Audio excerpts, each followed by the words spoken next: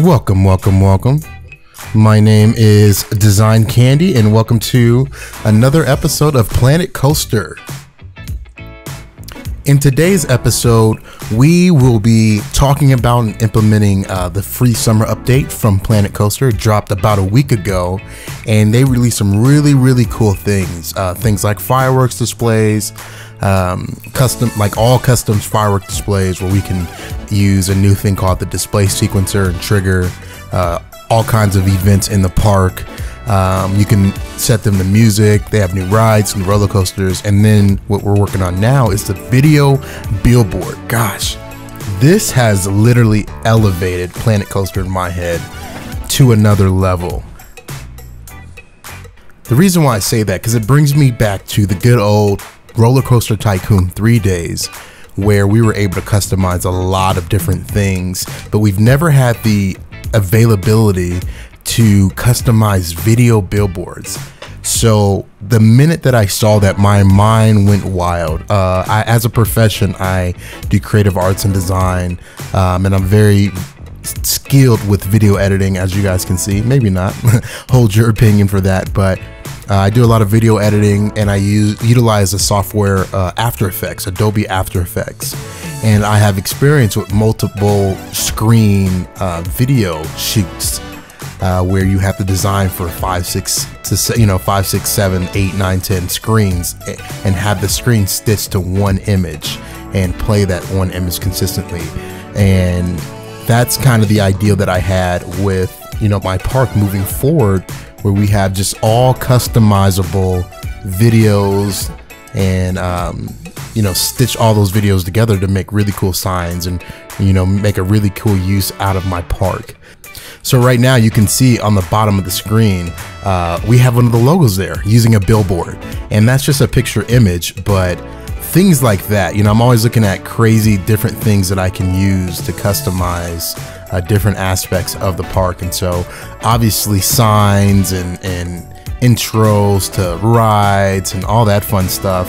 We're going to be using customizable graphics and customizable video billboards for all of them.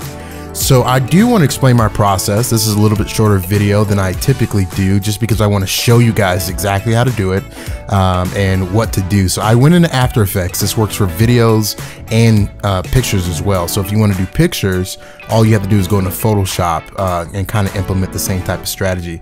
But I went into After Effects and created a composition. In that composition, I created two rectangles basically for the two screens. And then I created two separate files.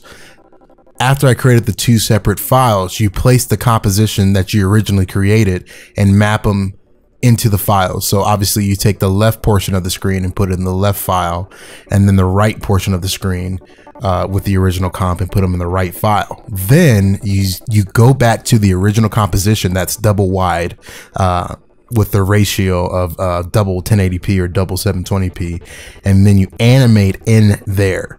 So I then take Photoshop graphics and then animate them back, you know, back back inside. With this graphic particularly that you see on the screen, that's a graphic on the bottom half, and then it's a news ticker on the top half that I just put some text and copy to emulate, you know, like a upcoming event or something cool like that.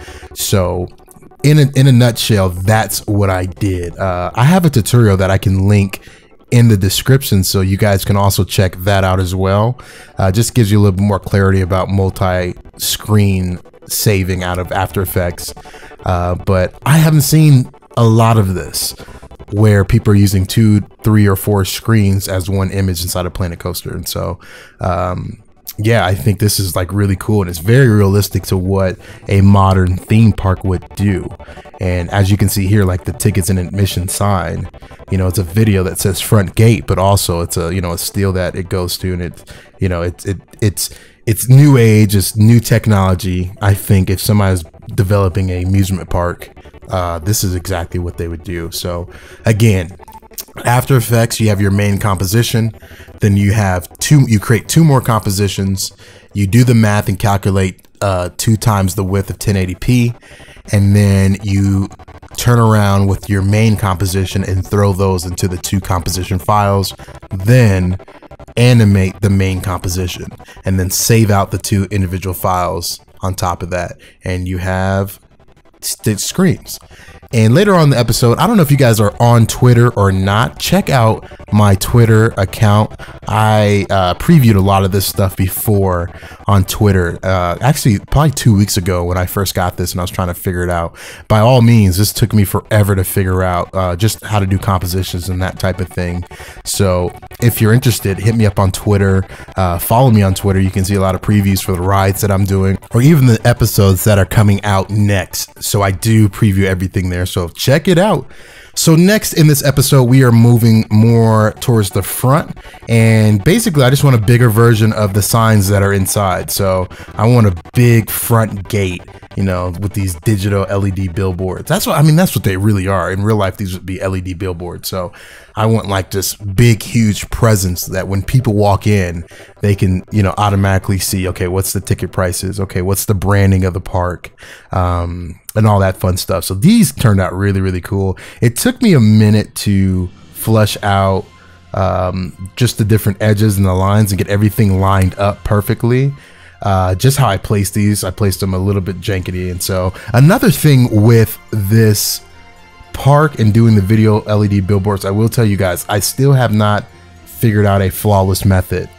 What that means is every every five to ten minutes that the in-game time goes, these screens get out of sync, and I have not, I haven't been able to figure out why.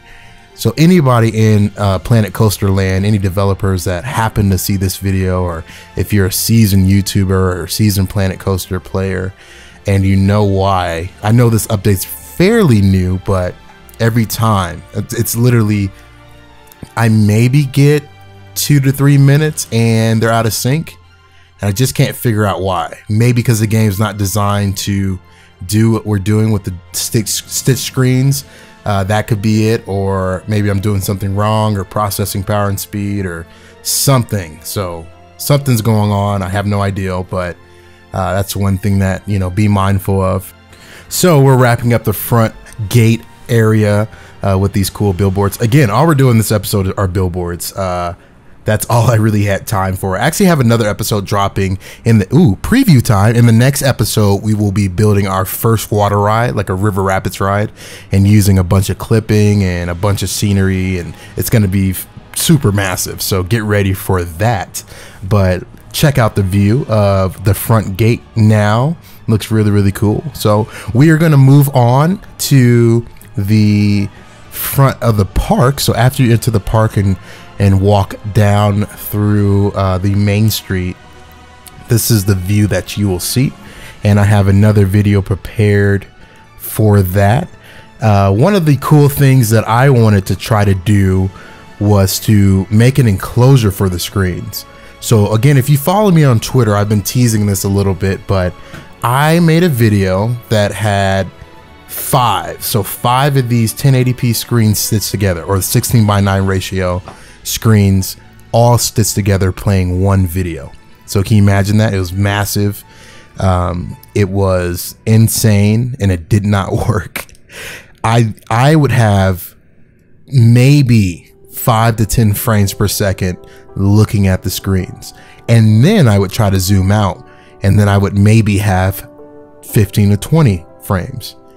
It was so bad that I actually, you know, on accident, I saved the game with the video still loaded. And it was the worst thing you can do because every time then I would load into the game, it would take an extra three to four minutes just to load the game because of those stitch videos. So unless there's an update or something changes, my recommendation would be if you're following this for a tutorial, which a lot of you probably will be, my recommendation would be to not use more than three videos.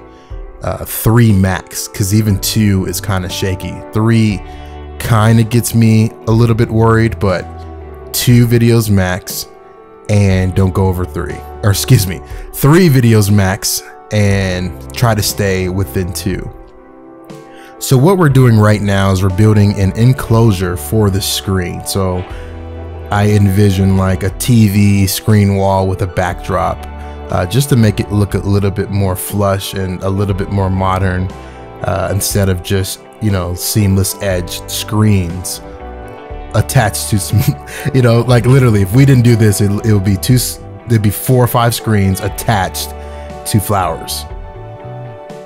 Super not realistic so we had to make it look at least a little realistic that uh, screens could be there and kind of cover up the foliage and cover up the rocks and cover up the trees so it looks flush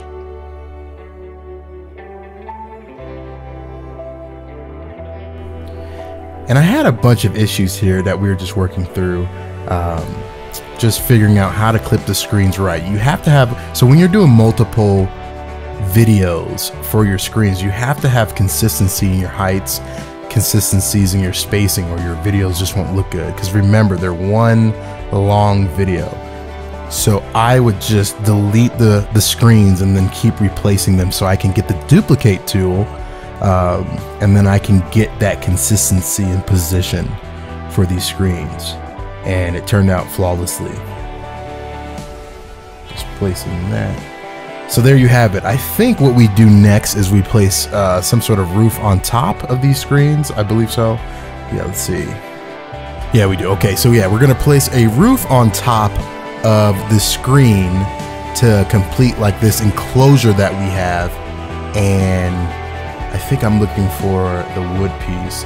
I love Planet Coaster and all their their customization techniques and tools. i am still getting used to it.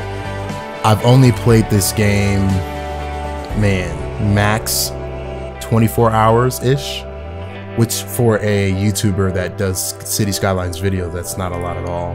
But I'm starting to get a, get the hang of the tools. I'm starting to get the hang of, you know, everything that you can do and customize.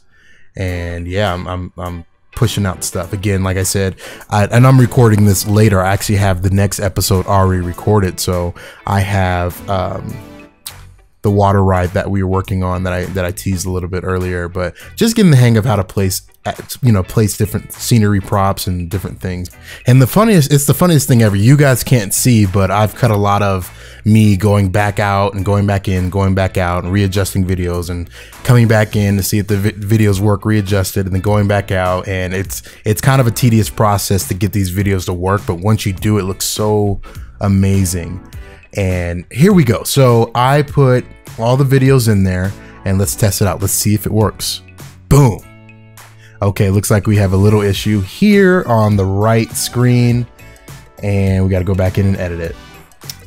Another thing, just, you know, for a tip is when you're editing these videos, you have to re-edit everything. So just FYI. Okay, let's see if it works now.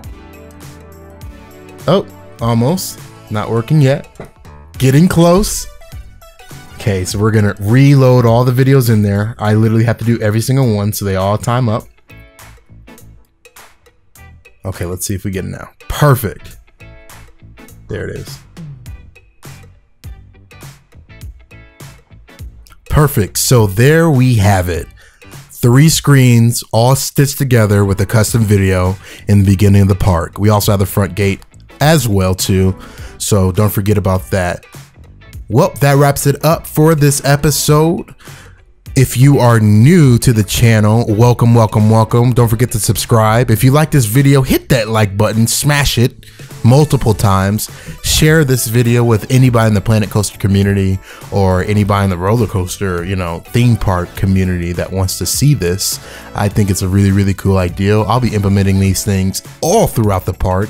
So stay tuned to the next episode where we build our River Rapids water ride with a bunch of scenery and a bunch of different triggers that we have. So this is your boy, Design Candy. Thank you guys so much for checking out the channel. Peace.